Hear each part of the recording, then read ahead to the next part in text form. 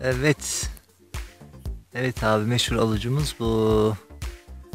Evet dağlarda olur genelde aluç.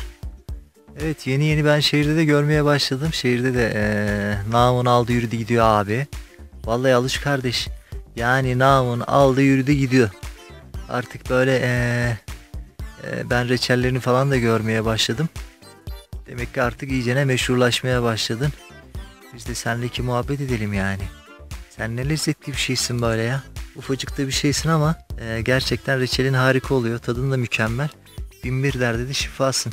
Beydağ'ın manzarasında ne yapıyorsun? Olgunlaşmayı bekliyorsun. Evet insanları e, damaklarını şenlendirmeyi bekliyorsun. Çok teşekkür ederiz sana. Seni seviyoruz Alış kardeş. Görüşürüz. Kendine iyi bak. Alır mı? Evet. Şehirdeki arkadaşlara bir söyleyeceğim var mı? Bize bir mesajın var mı? He demek pek bolca gelip gezin görün diyorsun buraları. Bizi yalnız bırakmayın diyorsun. Evet gelirken de tabii eee, ortalığı kirletmeden, mahvetmeden. Evet aşağıdan bir inşaat sesi geliyor. Köylerde yapılaşma son sürat devam ediyor. Ama tabii yapılaşırken de inşallah doğal eee, ortama zarar vermememiz lazım. Çünkü aynı hatayı şehirlerde yaptık. Şehirlerin içine ettik. Eee, tekrardan bu doğal güzellikleri mahvetmememiz lazım. Evet. Görüşürüz Alış kardeş. Kendine iyi bak.